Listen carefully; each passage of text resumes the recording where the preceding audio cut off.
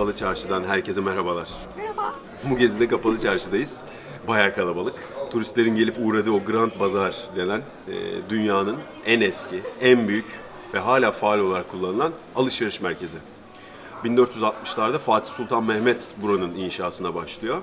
Daha sonra Kanuni Sultan Süleyman zamanında en büyük haline ulaşıyor. 3600 aşkın dükkan, 66 sokak, bir sürü han. E, dünyanın en eski, en değil. faal ve en büyük alışveriş merkezi. Evet. Şey kanuni sanırım ahşap olarak tamamlıyormuş, yapıyormuş diye biliyorum. Tabii. Peki Mert neden böyle bir yere ihtiyaç duyuluyor? Yani şimdi Fatih Sultan Mehmet İstanbul'u fethettikten sonra Osmanlı'daki kurumların ayakta kalmasının yani o dönemlerde Osmanlı'daki kurumların ayakta kalmasının en büyük sebebi vakıf sistemi. Yani siz camilere e, cami yaptırırken veya camilerin bakımı onarımı için e, para toplarken bunlara para getirecek Gelir- projeler gelir geliştirilir. sağlamak için. Aynen. Yani Aa, o, evet. o Fatih Sultan Mehmet Ayasofya'ya Gelir e, gelir sağlamak için bu kapalı çarşıyı inşa ediyor. Zamanla buraya dünyanın dört bir yanından gelen işte mücevheratlar, takılar, kumaşlar derken e, kapalı çarşı Osmanlı'nın ticaret merkezi haline geliyor. Yeri geliyor banka görevi görüyor, yeri geliyor ticaret merkezi oluyor. Ekonominin kalbi oluyor. Yani sanırım. Osmanlı eko- aynen Osmanlı ekonomisinin kalbi kapalı çarşıda atıyor. Fatih Sultan Mehmet'in Ayasofya için Ayasofya'ya e, gelir sağlamak için, oranın bakımı, onarımı, yapımı için e, geliştirdiği bir proje. Osmanlı'nın en büyük projelerinden biri diyebiliriz herhalde. Evet ve hala ayakta için. kalan projelerinden yani çoğu ayakta olmasa da. Binlerce dükkan, milyonlarca, milyona yakın, her gün yarım milyona yakın insan Evet. ziyaret ediyormuş Daha burayı. önce de e, defalarca geldik ama her seferinde geldiğim yeri ben şaşırıyorum. Zaten çok yön duygum iyi olsa da burada bir şey var Kaybolacak. yani. Kapalı çarşıda Olsun buraya kaybolacak. zaten kaybolmaya gelirim. Elbet buraya? bir kapıdan çıkarsın. Rengarenk sokaklarda dolaşalım Şimdi biz şark kahvesinde onu diyecek. Tam onu tam onu söylüyordum. Şark kahvesinde kahve molamızı bitirdik. Şimdi yavaş yavaş kapalı çarşının içini gezelim. Yalnız Türk kahvesi çok güzel ha onu da söyleyeyim okey? Afiyet olsun.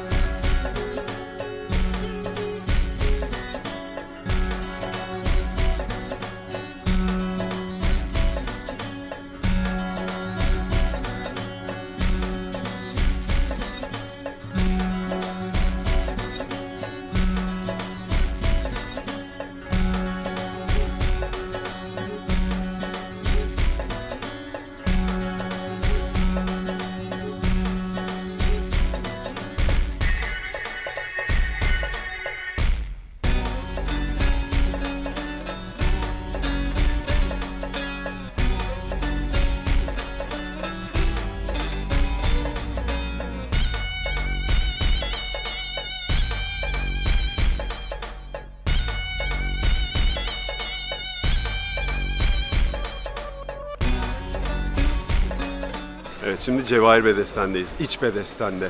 Yapılan en eski Fatih Sultan Mehmet zamanında yapılan bölümdeyiz. Burası antikacıların, eski ürünlerin, gümüşlerin, yaprak üzerine minyatürlerin olduğu bir yer.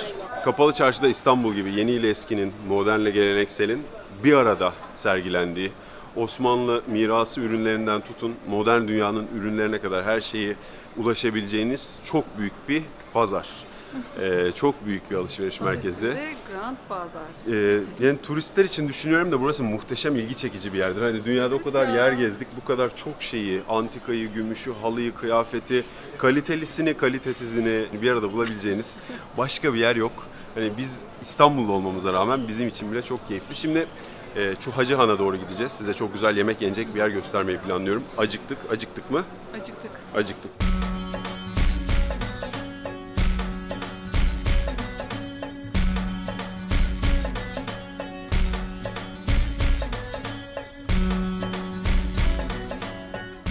Evet şimdi Cebecihan içerisindeki Pedelize'ye geldik. Burada öğlen yemeği yiyeceğiz. Kapalı çarşıya yolu düşenler için tavsiyemdir. Gelin burada bir sulu yemek yiyin ya da bir İskender yiyin.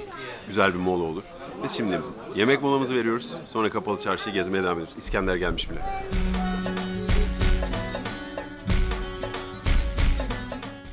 Pedaliza'nın hemen karşısında Çukurhan diye bir han var. Oradan içeri girin. En sonunda böyle Özbek Han mı, Özbek çarşısı mı öyle diyorlar. Muhteşem kılıf ve kumaşların satıldığı bir mağaza var. Seneler önce gelip burada yastık kılıfları almıştık. Efsane güzeller. Sizlere onları da göstermek istiyorum. Şöyle mağazayı bir dolaşalım, öyle çıkar gezeriz.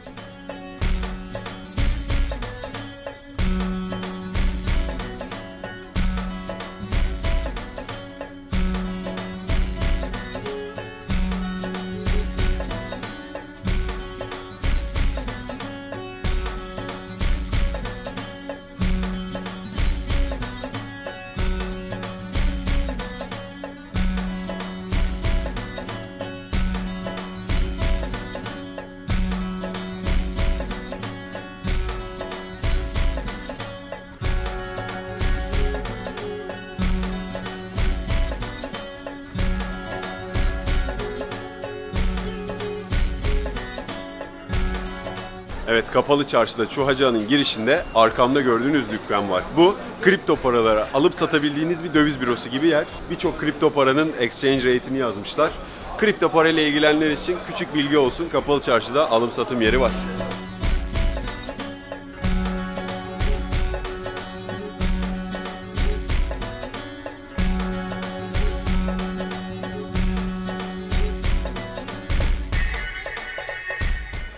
Evet şimdi geldik şu Hacı Han'a. Burada üst katında bir kahve molası verdik.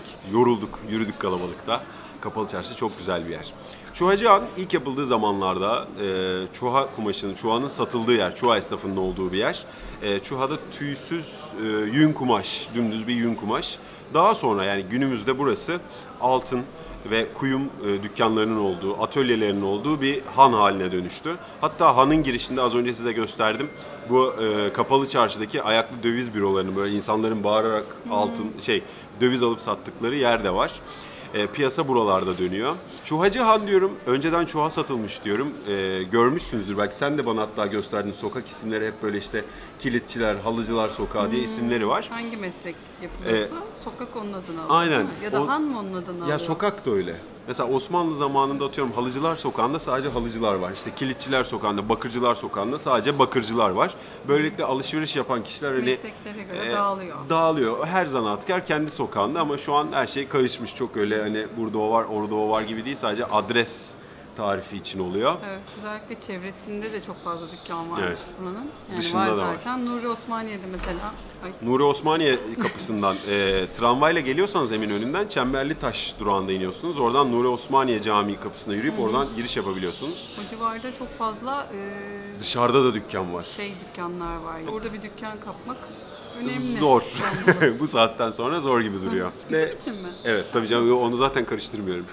Evet, az önce aşağıdaki abi nasıl böyle spagetti dükkanı gibi altınları yığmış artık. O neydi ya? Atmış oraya.